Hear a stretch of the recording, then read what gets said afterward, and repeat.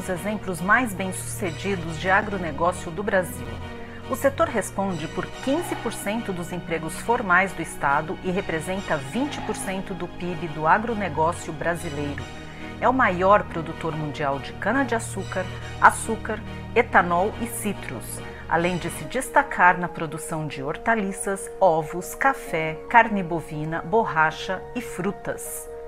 Quer saber como São Paulo chegou a esse estágio e como estamos trabalhando pelo futuro do agro no estado? Percorra conosco Caminhos do Agro São Paulo, uma websérie com 10 episódios nos quais mostraremos iniciativas, projetos, pesquisas e ações que contribuem para que o produtor paulista tenha uma produção cada vez mais eficiente e sustentável para abastecer o mundo. Cada episódio trata de um trecho desse caminho com entrevistas com produtores, pesquisadores e técnicos que mostram o que já vem sendo feito e o que está por vir para fortalecer ainda mais o agro paulista. Economia circular, gestão, pesquisa e inovação, regularização ambiental, produção sustentável, agro seguro, comercialização, consumo, exportação e conectividade. Uma live com discussões atuais sobre cada um dos temas fecha a programação de cada episódio da websérie, alternando com um evento online sobre as principais cadeias produtivas do agronegócio em São Paulo. Café, cana-de-açúcar, carne bovina, leite, citros, papel e celulose, olericultura, soja uma vez por semana, até dezembro, venha percorrer conosco cada etapa do Caminhos do Agro São Paulo.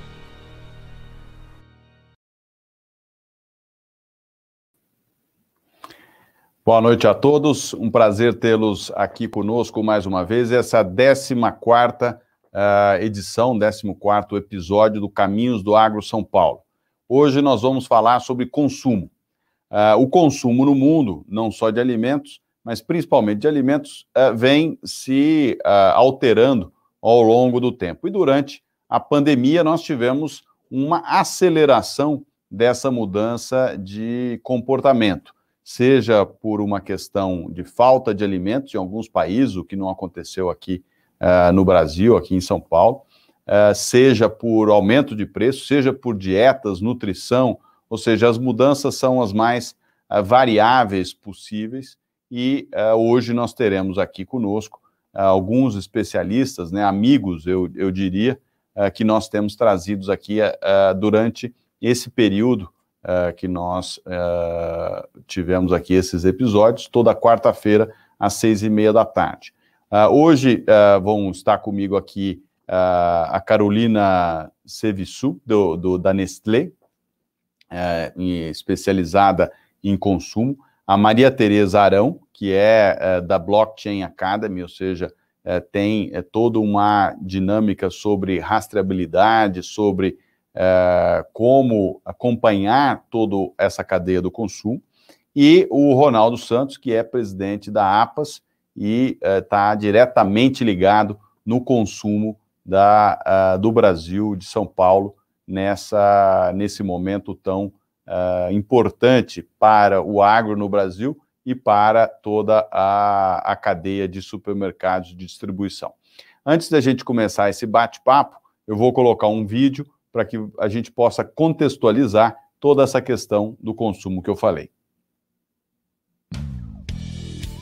Os hábitos de consumo se sofisticaram nos últimos anos, ao mesmo tempo que existe a necessidade de consumo básico. Olhar para o que o consumidor deseja e almeja é o que norteia as pesquisas e o trabalho de quem está no campo. Hoje, o consumidor quer mais variedade, exige melhor qualidade, especialmente em produtos frescos, e há inclusive interesse em saber a origem dos produtos, por quem e como são produzidas hortaliças, frutas e proteínas. A mudança no comportamento da população alterou a visão de quem está a campo. Não se vende o que se produz, mas sim produz-se o que um consumidor cada vez mais exigente e informado quer. Assim, todos na cadeia produtiva precisam definir padrões de qualidade e sanidade que atendam esse novo olhar do consumidor. O setor público e a iniciativa privada atuam para ajudar o produtor rural a focar no alimento saudável, de qualidade e com variedade, que atenda ao novo consumidor não só no mercado interno, mas também de uma demanda cada vez mais global.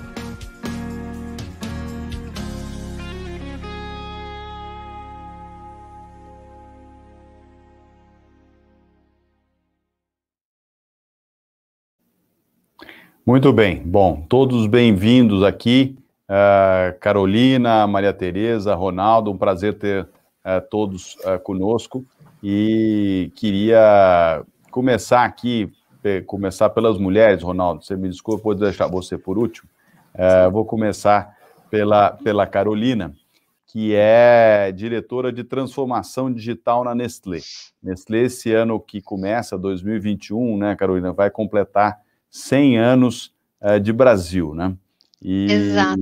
E, portanto, é uma, uma, uma festa, vai ser né, uma festa uh, super importante para, não só para a Nestlé, obviamente, mas para todo o agro brasileiro, porque a Nestlé é sinônimo de qualidade aqui uh, na produção agropecuária do Brasil. Uh, Carolina, eu queria explorar um pouco aí o seu conhecimento, né?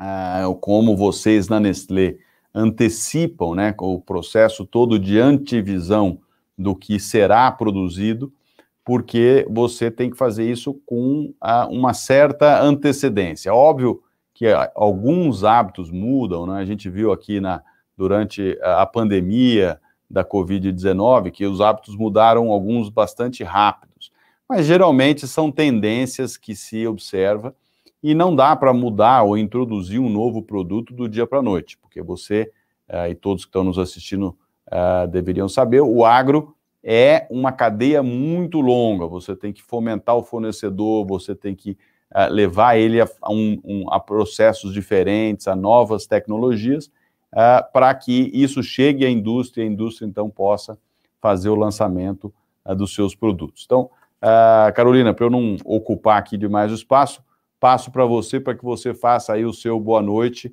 e nos dê um pouco dessa, dessa aula é, de inovação, de consumo que você é, tanto sabe.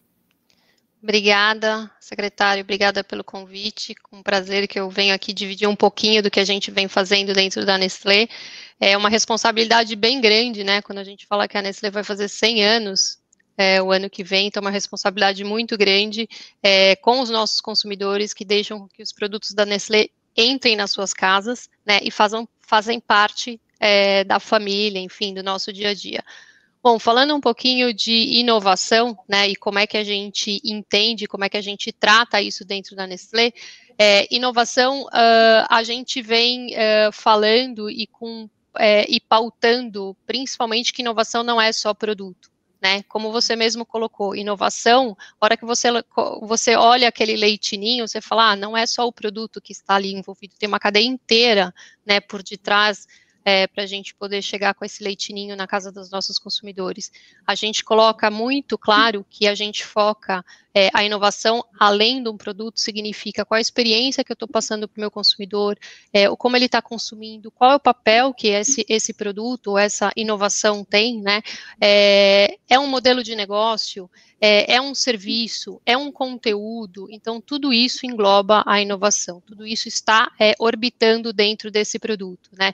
E como você mesmo colocou, é um processo, a inovação é um processo, é um processo que coloca a pessoa, o meu consumidor, no centro né, entendendo sua necessidade, é, ou até antevendo um pouco isso, né, e tudo isso é feito com muito respeito é, e muito e, e muito numa maneira colaborativa, né? Porque a inovação a gente não faz sozinha. A gente tem aqui uma rede importante, seja do setor privado, do setor público, que faz com que a gente consiga colocar a melhor experiência ao redor uh, do meu produto no momento que o meu consumidor está apto a consumir isso. Né? Eu acho que também é importante colocar aqui que a Nestlé aqui dentro do Brasil, desde 2019, aumentou em quase 80% todo o investimento em pesquisa e desenvolvimento, né, desde o é, do campo, indústria 4.0, até a sua otimização dentro de fábrica. A gente é um propulsor, um propulsor de lançamento, sim, entendendo que a dinâmica de uma grande empresa como a nossa vem mudando, como foi muito colocado, né, porque o consumidor está é, tá muito mais informado,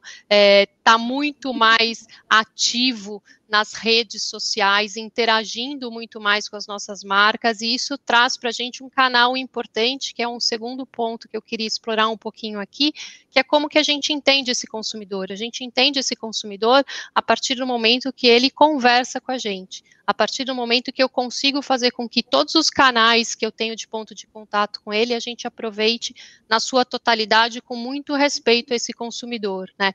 Então, a gente sim tem é, canais é, onde a gente identifica e onde a gente conversa. Então, é muito colaborativamente é, esse processo de inovação cada vez mais dentro da empresa, onde a gente nomeia um pouco isso inovação aberta, né? Onde a gente tem parceiros importantes dentro desse ecossistema que nos mostram é, e nos dão o pulso uh, do que esse consumidor lá na ponta, e a gente fala muito desse consumidor, até parece que a gente não é um consumidor, né? Então pode ser simplesmente a gente olhar para dentro dos nossos, é, das nossas casas, pode ser dos nossos amigos e entender como que eles estão consumindo, como que a gente está consumindo, né? Pode ser tão simples quanto isso. Então, esse olhar que requer disciplina, processo, presença, conversa e colaboração é muito importante. É assim que a gente vem desenvolvendo a inovação dentro da companhia, secretário. E, e Carolina, é interessante, né? Você é uma, uma, uma, uma, moça jovem, né? A Nestlé fazendo 100 anos e é, com muitos processos, padrões, governança é, que foram sendo construídos por 100 anos no Brasil e até mais um pouco é, na Europa. Uh, eu vejo aí esse exemplo, né? Logo que o governador João Dória foi eleito e assumi a Secretaria da Agricultura, nós fomos lá na inauguração do prédio da Nestlé no ano passado e assinamos um acordo um, um, de, de, de, cooperação uh, no desenvolvimento do leite ninho orgânico. Né? Nós temos aí 30 e poucas fazendas que a Secretaria faz o monitoramento do processo todo orgânico uh, e vocês lançaram o produto esse ano ah, para que, ou seja, essa foi uma, uma colaboração aí público-privada que nós fizemos. Mas, uh, além do leite, né, eu queria usar o leite como um exemplo. Essa discussão sobre orgânicos, né, se a gente voltar lá na Whole Foods, ela uh, começou esse processo nos Estados Unidos na década, no final da década de 70.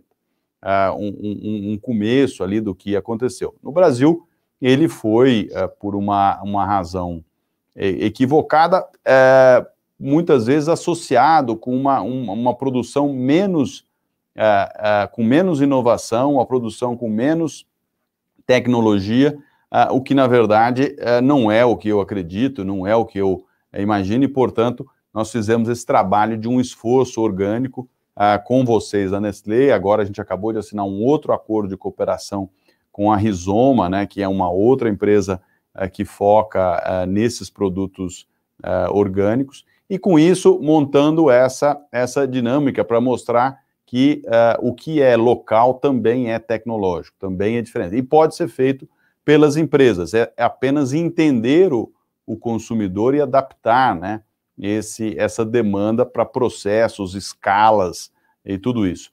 Mas eh, como é que é essa questão dentro da Nestlé? Né? Você é, propondo inovação, como é que a empresa olha todo esse esse ecossistema que a gente vive hoje para tomar decisão, não, esse produto sim, vale a pena, tá, uh, é o momento. Bom, secretário, eu, eu, acho que você falou um pouco sobre isso, né? Tudo vem de uma demanda, né? E a gente também entende que essa demanda do consumidor também a gente tem que pegá-lo e levá-lo junto dessa jornada, né? Então, a hora que você cita como exemplo o ninho orgânico, né? Então, eu estava lá quando foi assinado, né, o, tratado e a gente na inauguração da sede, e é com muito orgulho que agora em setembro a gente acaba de lançar um Nescau orgânico, né, que foi uma derivação. Por quê? Porque a gente entendeu, conversando com o consumidor, entendendo o consumidor, que Nescau poderia e deveria entregar uma versão orgânica. O porquê não? Né? Então, qual é o meio da gente poder evoluir com isso? É conversando e entendendo e abrindo. E você tocou num, num, assunto importante que é sobre, é, sobre a parte toda tecnológica que está por trás disso, né? Você, você, enfim, as pessoas que estão nos assistindo entendem melhor do que eu, e eu não sou expert aqui, você virar uma fazenda para uma produção orgânica tem muito processo, tem muito estudo, tem muita tecnologia envolvida. Eu falo um pouco de tecnologia, mas a tecnologia é só um enabler, né? Porque o que está por trás são as pessoas que acreditam e que fazem com que a tecnologia nos coloque aqui um ninho orgânico, um Nescau orgânico na mesa do nosso consumidor e que valoriza cada vez mais. Eu acho que se teve uma coisa que a gente entendeu durante esse processo é a transparência né, que o consumidor está cada vez mais é, pulsando por isso, é, e, e, o diálogo, né. Muito bom, é isso mesmo. Bom, Carolina, deixa eu pular aqui para Maria Tereza, já que você falou de transparência, eu vou uh, falar com a Maria Tereza, que é da blockchain e que tem feito. Uh, primeiro, o que, que é blockchain, né, Maria Tereza? Acho que muito a gente fala uh, sobre isso, no entanto, poucos talvez saibam e muitos acham que saibam que sabem.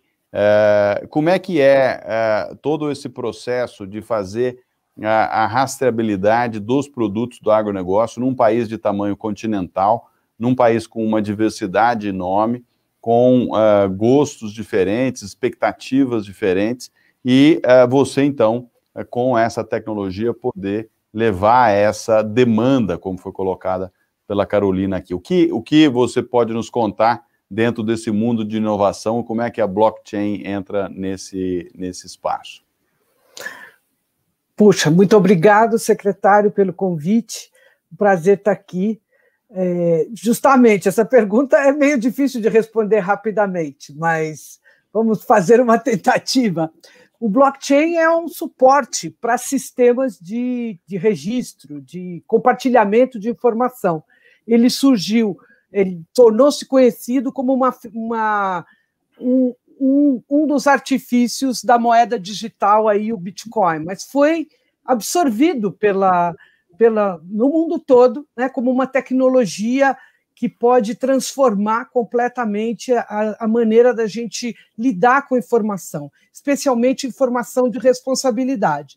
Na Europa, hoje, a Comissão Europeia tem lá um comitê de de blockchain que pretende revolucionar todas as aplicações. No Brasil, a gente está vendo muitas empresas e, e, e, governos também, instituições, buscando soluções de cadastro, de registro, de troca de informações, é, us, utilizando o blockchain, que é um banco de dados com segurança, com integridade, com garantia de, de origem. Então, um exemplo é, saber de onde vem a laranja que eu estou comprando no supermercado.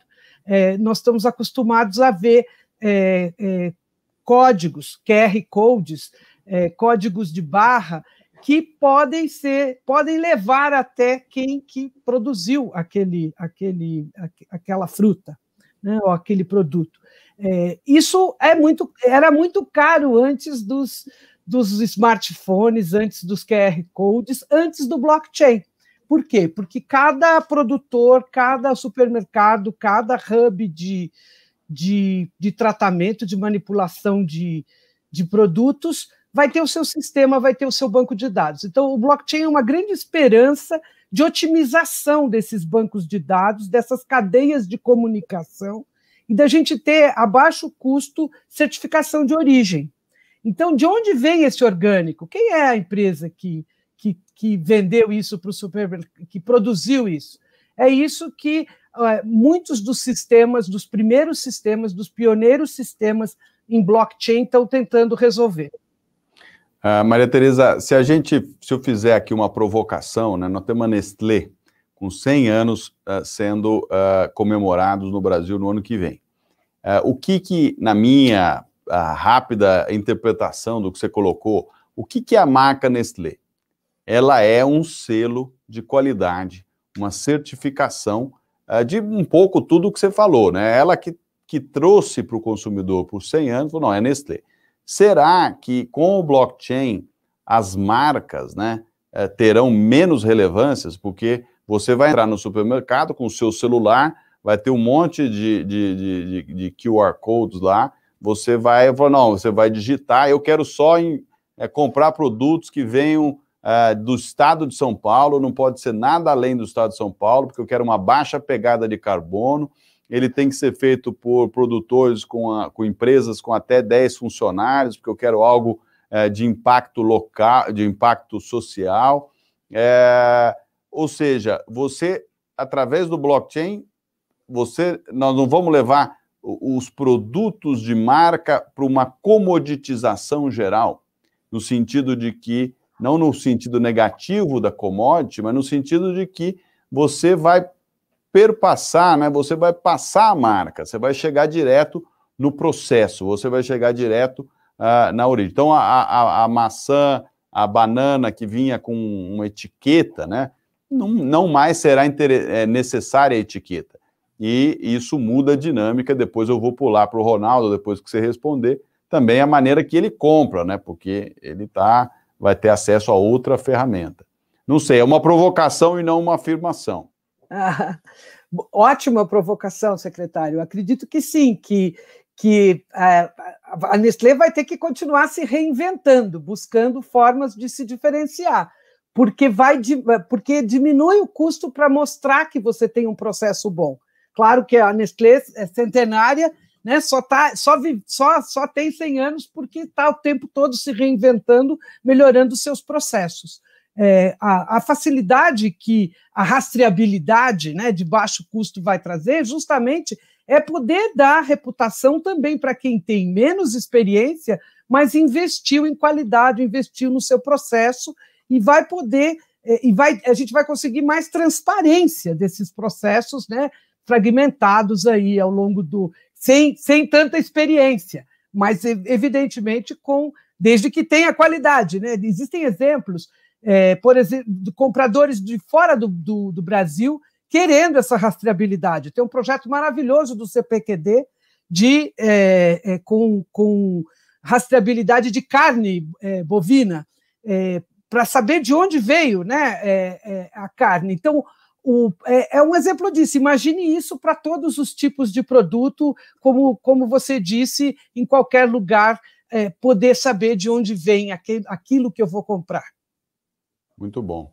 Maria Tereza, super legal. Com essa, com essa, essa, essa sua deixa de onde é que você vai comprar, eu vou para o Ronaldo, que é, é, um exímio comprador, aí tem uma experiência de longa data é, no setor de supermercados.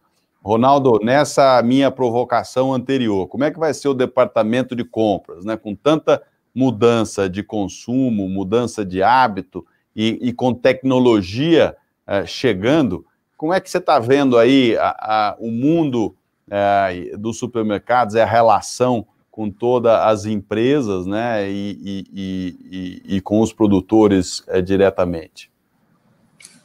Boa tarde, boa noite já, né, Gustavo? Obrigado pelo convite, estar participando com você desse evento. Agradecer também a presença da Carolina e a Maria Teresa, que são as colegas aí que estão, estão comigo, né, e todos que, nos acompanham. Bom, falando um pouquinho aí do blockchain, é uma, é coisa nova ainda, né? para permear aí talvez as nossas relações de consumo, que seja da indústria para o varejo, do varejo com o consumidor.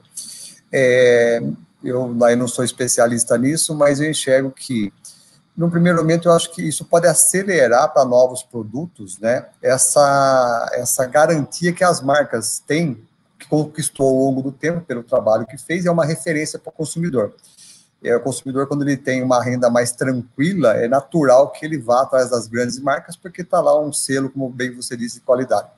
E talvez a tecnologia vai permitir que empresas é, novas possam avançar de forma mais rápida nessa relação com o consumidor e ganhar essa confiança. É, acho que é no primeiro momento que eu vejo. É, e do hábito de consumo, a gente vai colocar muito que também tem muito a ver com renda, né? Nós tivemos dois momentos que eu gosto de citar, acho que em 94, né, os primeiro lá é, governo Fernando Henrique, longe ainda, né? Mas depois entre 2008 e 2013 foram dois momentos que o Brasil teve um crescimento de PIB consistente e um aumento de renda bastante grande. Isso impacta muito no consumo. O consumo muda por questões geográficas, demográficas, tal, que é um, processo um pouco mais lento, mas a renda ela faz impacto grande. É, e o contrário também acontece. Então, no momento de, de, de, de, expansão da renda, o consumidor vai privilegiar as grandes marcas, produto vai dando mais qualidade para produto, vai buscando uma, uma maior qualidade, é, e o contrário também acontece. Se a gente pegar lá a crise de 2015, 16, teve uma inversão, e aí toda a cadeia produtiva tem que se ajustar né, nesse processo de é, poder atender o consumidor, o consumidor fica mais seletivo, dado, dado a falta de renda, começa a olhar com mais cuidado as promoções, começa a experimentar outras marcas, né, vai continua buscando aquela qualidade que talvez já é uma referência para ele, mas com aberto às novas experiências e, evidentemente, novas marcas. Uh, a cadeia se adapta também com embalagens menores, isso foi muito, muito evidente na crise de 2015, 16, e nós é, saímos daquela crise, mas sem uma grande expansão de renda. Então a gente vem, acho que, evoluindo. Nós, nós, a gente não volta para o estágio anterior, né? Sempre, mesmo que há um avanço, alguma regressão, mas você fica no estágio um pouco mais à frente. E acho que a tecnologia vem para permear todo esse processo, né? Para que você, isso leva o consumidor a ter mais condições, maior número de informação em relação a todo esse processo.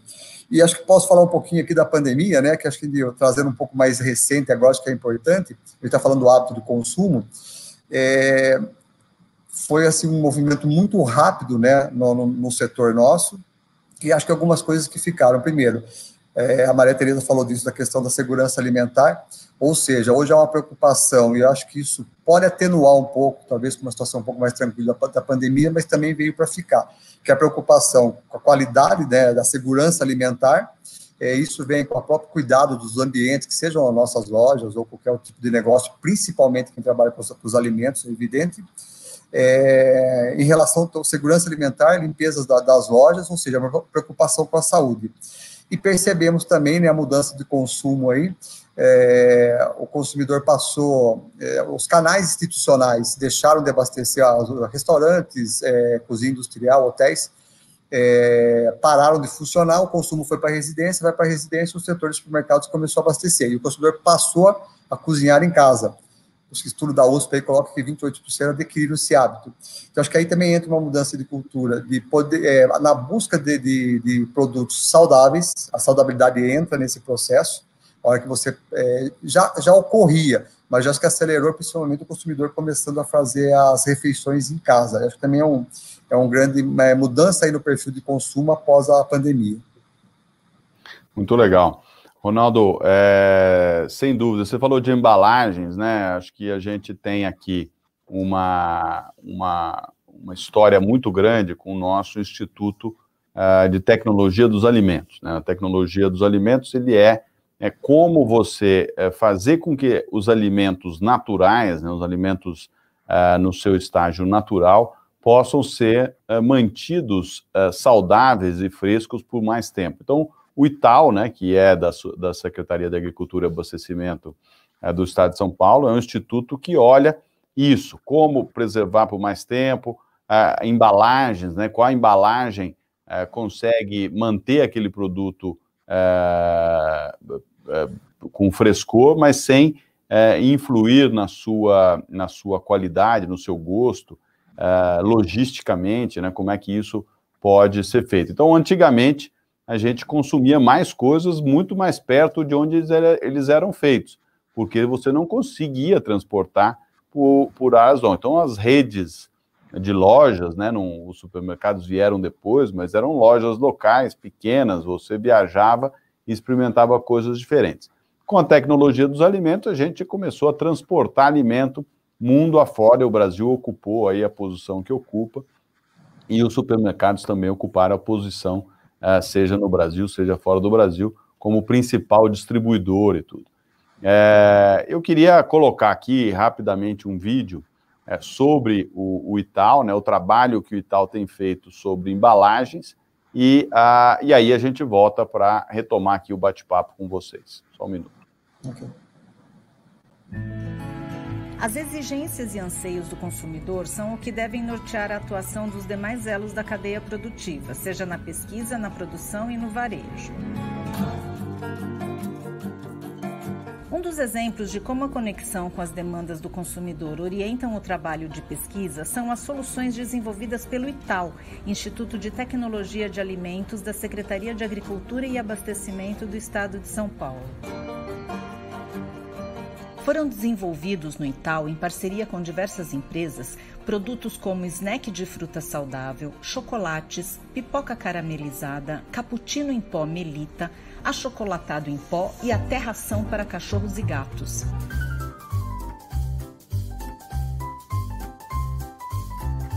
A Special Dog Company, por exemplo, realizou diversos testes de validação de embalagem e tratamento térmico dos produtos no Itaú. Para o desenvolvimento dos produtos úmidos, a validação do processo de autoclave, assim como da eficiência da embalagem, foi fundamental para assegurar esterilização e validade dos produtos.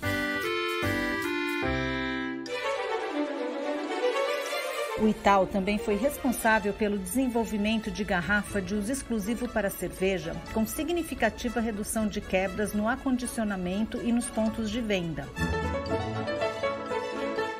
A Associação Técnica das Indústrias Automáticas de Vidro, Abvidro, juntamente com as principais cervejarias do país, solicitaram ao Centro de Tecnologia de Embalagem, CETEA, do Itaú, a avaliação das garrafas que eram as mesmas utilizadas para refrigerantes e aguardentes.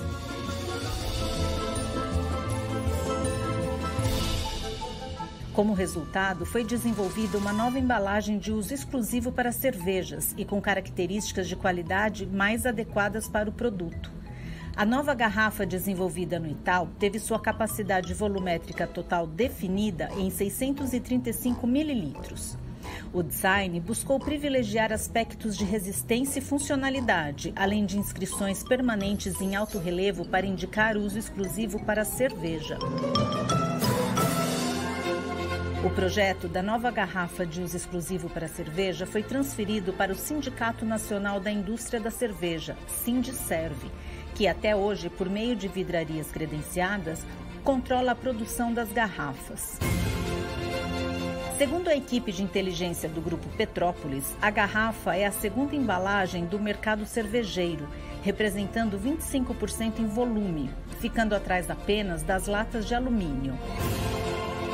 Em valor e rentabilidade, corresponde a quase 35% do mercado, sendo a única garrafa de livre uso entre as cervejarias. Em seu ciclo de vida, é envasada por diversas marcas com forte apelo ecológico.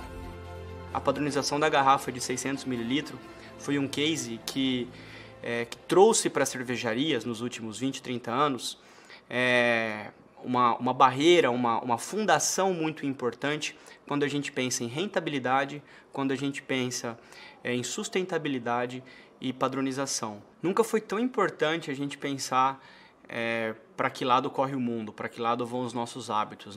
E baseado nisso, a gente tem a grande oportunidade de fazer a garrafa de 600 ml voltar a ser protagonista do mercado de bebidas nacional. A política nacional de resíduos sólidos dela vem tendo uma abordagem muito importante da conscientização e de tudo que as empresas é, produzem e que não voltam para ela, que acabam virando de alguma forma lixo. E essa garrafa, ela foi uma garrafa que ela, ela teve uma grande importância é, durante 20, 30 anos no nosso mercado, porque uma garrafa que ela poderia ser utilizada até 40 vezes. Uma garrafa de 600 chegou a transportar 25, 26, 27 7 litros de cerveja e isso é imensurável o, o bem que ela faz para o nosso mercado e para o nosso país.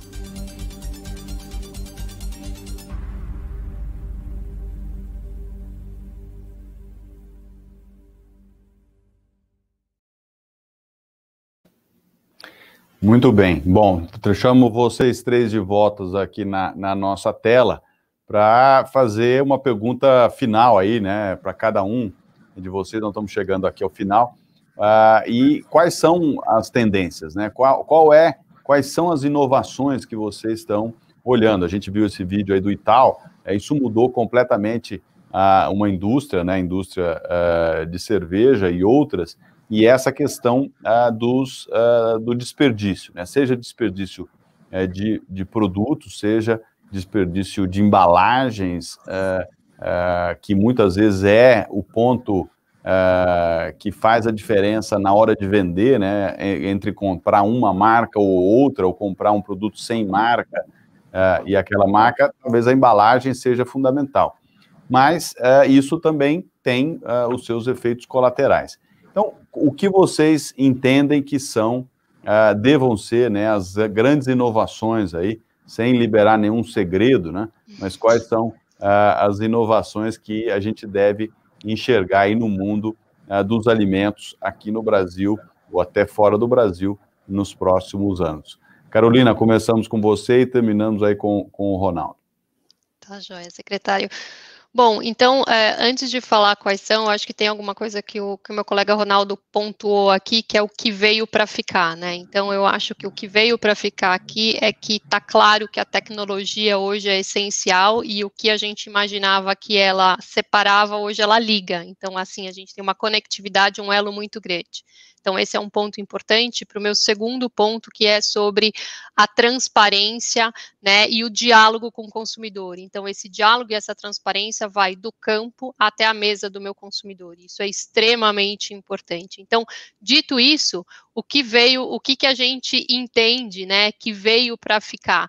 É, essa inovação do campo até a mesa passa por, aqui eu posso citar do, é, duas inovações que a gente vem trabalhando, até duas também junto com, junto com a parceria, né, do setor público aqui, a gente tem desde a da parceria junto com o Instituto Biológico, que a gente é, trabalha no desenvolvimento do manejo, né, do, do, do manejo responsável do café, e o café como todos sabem, é uma parte importante dentro do nosso portfólio, né? Então, toda a parte do desenvolvimento nos tange e, e, e, nos sentimos responsáveis. A gente tem também, falando um pouquinho mais de leite, toda a nossa parte, junto com o Instituto de Zootecnia aqui, com o estudo de aperfeiçoamento, né, do leite orgânico, como a gente havia comentado anteriormente, e a pesquisa do leite A2, então isso continua e está na pauta. É, a gente tem também dois exemplos importantes que ficam também cada vez, cada vez mais evoluindo, que é desde a, do sensor que a gente usa dentro das nossas é, vacas produtoras de leite, né, onde a gente entende como é que está esse bem-estar, aplicativos onde a gente entende, a gente é, passa para o campo melhor manejo é, do recurso hídrico, né, daquele, da, da, daquela fazenda, então isso continua é, e, e isso transborda né, o campo para a mesa, como eu havia falado, é, e falando um pouquinho uh, também na maneira como o consumidor compra, então a gente experienciou, muito, muitos do, de nós que estamos aqui e estão nos assistindo, muito provavelmente podem ter feito a primeira compra de alimentos online, né, durante esse momento, é, isso fica, é, mas fica de uma maneira equilibrada, o on e o offline, né, muitas pessoas me perguntam, Carol, as pessoas vão deixar de comprar off? Não, existe o on e o offline, é o que a gente chama de experiência de multicanalidade aqui, né, eu acho que é importante colocar isso. A gente tem aí, em termos de plataforma, orgânico, como a gente havia comentado, uh, o que a gente chama de plant-based, então Molico, Ni, é, Nesfit, enfim, é, Ninho acabou de lançar é, produtos à base é, vegetal, isso também fica né? A rastreabilidade, eu acho que a Maria Tereza, minha colega, é, explicou. A gente, inclusive, neste momento, uma colega minha está lançando na SIC é, o, primeiro, o primeiro projeto de blockchain da Nestlé é, em cafés. Uh, então, aonde a gente dá mais uma vez a transparência é, do campo para a mesa, é, colocando a luz no pequeno produtor, né? E a gente conhecendo esse pequeno produtor, é, com, com, um conceito e com um ritual super importante no consumo de café dentro do mercado brasileiro. Uh, e um último ponto que eu queria ressaltar são alimentos uh, e uma plataforma de imunidade. Né? Eu acho que isso também, dentro do momento que a gente está vivendo, tem uma luz importante. Muito bom. Não, várias, várias coisas, né? Uh, Maria Tereza, como é que você vê essas inovações que a Carolina colocou e outras aí que ela talvez não tenha, não tenha citado? Incrível, sensacional. é, coisas, é, velocidade, né? velocidade de trazer mais informação para o consumidor. É, essa coisa do café, que incrível, vou procurar. SIC, é, é, o que significa SIC, Carolina? É a Semana Internacional do Café. Ah, Semana Internacional do Café, um lançamento, então. É, pois então, a gente vai ver muito o que vai ficar. Vai ficar muitos novos projetos de rastreabilidade. É, embalagens, né, é, rótulos menores com mais códigos, né, com mais QR codes para ir buscar informação na internet e ocupar menos espaço físico da, da, da, da embalagem. Projetos em várias áreas da, da cadeia alimentar, aí ligando do produtor até o consumidor, passando pelos hubs de distribuição, resolvendo problemas aí de, de empacotamento, de onde vem isso, né? Sai do produtor, chega no, no entreposto, mistura tudo. Como resolver isso? Essa questão da rastreabilidade é importante para isso e a gente acredita que vai ser resolvido em breve. Perfeito, não, sem dúvida alguma, a rastreabilidade é um tema que está na pauta. E, Ronaldo, você que olhou aí, né, o lado da indústria que está inovando bastante, a Blockchain Academy, que é é, a, a, ponte né, entre esses, essas tecnologias to todas tentando, é, com maior agilidade possível, apresentar como é que muda a vida do supermercado, né? como é que muda a vida do que é, a gente está acostumado a fazer, ir ao supermercado e comprar o produto, muitas vezes o mais barato, né, Ronaldo? Sem dúvida. Gustavo, você fez uma referência aos 100 anos da, da Nestlé em 2021. Eu não, vou deixar, não posso deixar de destacar aqui que a APAS faz 50 anos em 2021. É melhor do que a Nestlé está fazendo, mas também já são, são 50 anos, que é uma boa idade, né? Tem nem dúvida.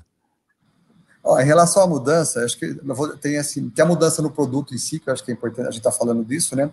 E também eu falo um pouquinho depois, rapidamente, da mudança no sistema, na forma do produto chegar para o consumidor o varejo passa uma transformação hoje, é, acho que talvez nunca tenha passado por isso tão grande.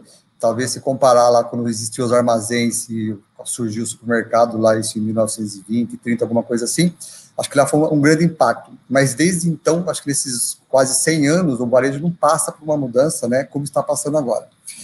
É, foi falado da restabilidade aqui, acho que já falaram bastante, eu vou destacar, inclusive, que a Abras tem um programa, né, Gustavo, você sabe que é o Rama, que é o programa de rastreabilidade para o FLV. É um programa que vem permeando as nossas empresas, as lojas, né, não toda a cadeia ainda, mas é um programa importante, tem desenvolvido bastante e traz essa, essa capacidade de poder rastrear a, os produtos dentro da cadeia produtiva.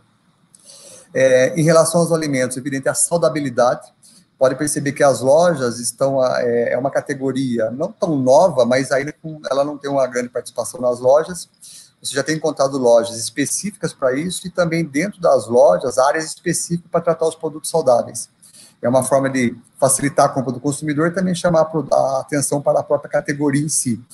E ela está muito ligada à renda. Eu acho que é uma categoria cara ainda, a gente briga muito por isso, que deve ser desenvolvida uma, é, é, com, com, o foco de ter os produtos saudáveis, como os orgânicos, mas ainda eles são caros. A gente precisa evoluir nisso para levar esse produto para o consumidor, porque ele tem o desejo e às vezes a barreira ela é econômica. Então, deve, temos que diminuir o preço dos produtos, mas também a renda, quanto ela, ela cresce, como eu já disse lá no início, ela vai permitindo essa mudança do hábito de consumo. Eu acho que isso, você falou de embalagem, é um ponto muito importante. É, vou citar um exemplo aí, todos nós compramos os frios, né, é, já preparados nas lojas, e hoje já tem uma boa participação aquilo que já aqueles frios já vem selado da indústria. Ou seja, isso melhora a, a vida útil do produto para o consumidor, diminui perda, né, tanto na cadeia, na cadeia produtiva e na própria residência. Então, isso acho que é um avanço. As embalagens permitem esse avanço. É, nós tínhamos os produtos in natura na loja, a alternativa para dar durabilidade era o congelado, e aí acho que vem um meio caminho aí com essas, as embalagens e também o hábito de consumo a gente encontrar produtos é, resfriados, talvez não necessariamente congelados, mas também os congelados, que também tem tecnologia que vem melhorando os congelados, que é outro congelamento e tal. Mas entre o natura e o congelado, um produto resfriado de alta qualidade que o consumidor possa fazer na residência é, rapidamente. E eu acho que isso ainda tem um grande caminho para o nosso setor é, passar a ser uma categoria importante no nosso setor. Por último, eu falando aqui da questão da forma do produto chegar para o consumidor. Até então, a gente tinha as indústrias que abasteciam o varejo, o varejo fazia esse abastecimento para o consumidor. Esse negócio começou a se misturar tudo que agora. Você já está vendo que se indústria é varejo, o, aí o varejo também tem a, a, marca do produto dele. Aí empresas que não eram tradicional do, do varejo de alimentos, está né, tá entrando. Eu acho que tudo isso é o seguinte: lá para o consumidor, é uma vantagem. E como acho que a Carolina disse, nós somos consumidores. A gente fala consumidor não são os outros, nós somos. Isso leva maior possibilidade de escolha, isso leva melhor produto e leva melhor preço. Eu acho que isso toda a cadeia produtiva nessa confusão de distribuição que está ocorrendo hoje é o que vai ocorrer lá para o consumidor.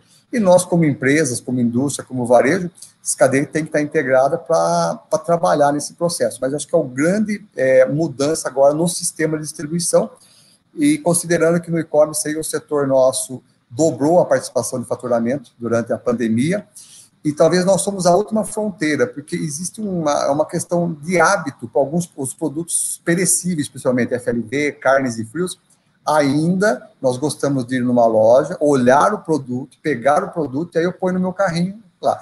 Se eu pegar uma garrafa de água, alguma coisa, eu estou um pouco mais tranquilo, vou receber pelo e-commerce.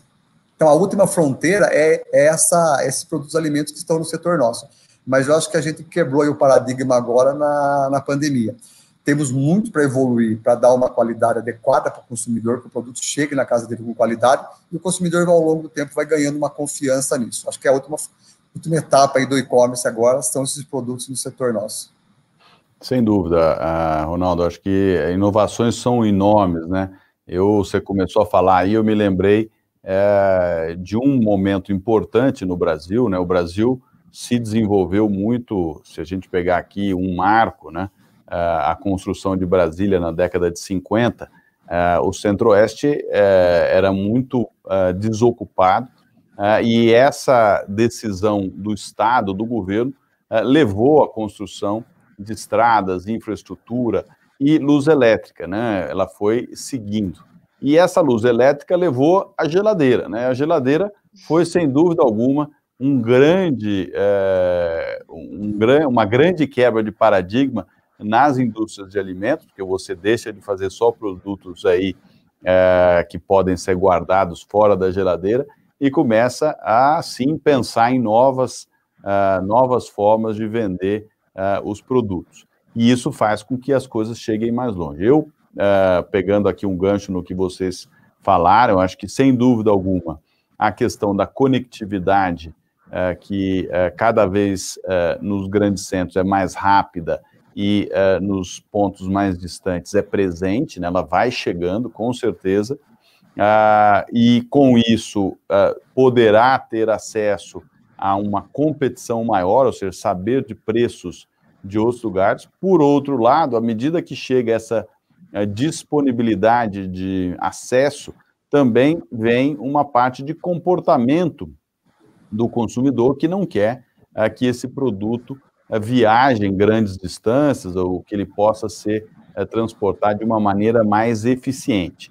A gente tem visto, por exemplo, um grande ressurgimento das ferrovias no Brasil para que a gente tenha um transporte de carga de caminhões menor, mais uh, uh, focado numa, num raio uh, menor, levando até, a, até o trem, né, até a ferrovia, para que venha para a exportação. Do mesmo modo, a, a, distribuição. E com isso a gente vai ent eh, entendendo que os mercados vão mudando e vão, sem dúvida alguma, ocupar um espaço, essa parte é, via internet, né, online, onde você vai comprar. A, o blockchain é, dará talvez essa segurança, né, Ronaldo, de você olhar um alface, de você olhar uma, um, um melão e, e falar, não, isso aqui eu estou vendo que foi colhido há dois, três dias atrás, ou foi colhido ontem, então isso eu vou comprar, esse eu não vou comprar, e tudo isso vai mudando. Um outro aspecto que é interessante ser ressaltado aqui é a, o surgimento do iFood, do Rap, onde você tem um contato com o consumidor por um intermediário, né? Um pouco que o supermercado uh, levou para as indústrias em algum momento lá atrás, onde o supermercado é quem tem acesso ao consumidor, a, a, as empresas de delivery agora fazem também com os restaurantes, fazem é, com os supermercados e passa a ter uh, o acesso ao cliente. Isso tudo vai levar a mudança. É, nesse aspecto, nós temos que pensar lá na ponta do produtor, né? E aí eu tentando fazer a minha, a minha, o meu papel aqui de agricultura e abastecimento, né? Que é essa ponte entre esses dois é, mandatos importantes da secretaria, na ponta do produtor, o produtor é, ele é impactado diretamente pelas ações diárias. Todos os dias a gente toma uma decisão de consumo. Né? Todo dia aquela decisão de consumo vai percorrer toda essa cadeia até chegar naquele produtor que vai produzir algo que lá na frente será novamente consumido. Então, eu acho que essa questão do consumo ela é importante, a gente trouxe aqui justamente para que todo o elo da cadeia fique muito claro que o consumidor tem novas demandas e que o produtor tem as suas dificuldades de atender aquelas demandas no mesmo just in time, né, que talvez o consumidor queira. E o nosso trabalho é fazer isso de uma maneira suave, de uma maneira uh, que todos possam ser uh, ter oportunidade, não podemos, uh, pelo menos temos que trabalhar para não deixar ninguém para trás, e, e, com isso o Brasil se desenvolve de uma maneira bastante equilibrada uh, com o setor público e o setor privado trabalhando em parceria. Pessoal, nós chegamos aqui ao fim. Uh, eu queria agradecer a todos vocês. Aí estamos a, a, a uma hora aqui uh, num debate bastante interessante e com pessoas que têm um conhecimento que poderia ser explorado por horas a fio mas o nosso uh, telespectador aqui, quem está nos assistindo, talvez não tenha paciência para ficar conosco todo esse tempo. Então teremos que fazer outro, outro momento. Uh, eu queria só pedir aqui, rapidamente, uma palavra, uma mensagem uh, de cada um de vocês, e com isso a gente fecha. Eu deixo aqui o meu grande agradecimento pela participação de cada um. Carolina. Então, a única palavra que eu tenho é obrigada pelo convite, obrigada pela parceria e a colaboração. Maria Tereza. Eu também agradeço. Muito bom estar aqui aprendendo com vocês. Obrigada. Doutor Ronaldo. Antes do agradecimento, acho que você falou da cadeia de abastecimento, acho que é o recado aqui, né, essa palavra final, é que a gente acredita muito na cadeia produtiva do Brasil. Nós somos os grandes produtores de alimentos da, da, no mundo e vamos ter uma participação mais importante ainda. E acho que essa cadeia integrada aqui para atender o consumidor. Acho que essa é a minha palavra final aqui. Agradeço a participação e de todos que nos acompanharam e também vocês aí que estiveram junto comigo. Muito obrigado. Muito bom. Super obrigado a todos vocês e todos que nos assistiram e até quarta-feira que vem para mais um episódio aí do Caminhos do Agro São Paulo. Um grande abraço. Tá. Até logo. Até logo. Muito bom. Obrigado, pessoal. Ok, secretário. Obrigado pelo convite. A Carolina, Muito... que a Maria Tereza está